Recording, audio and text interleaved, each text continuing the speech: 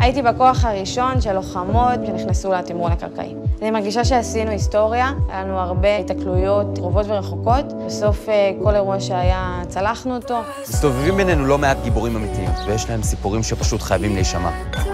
לחייך. לחיי נשים לוחמות. חיים.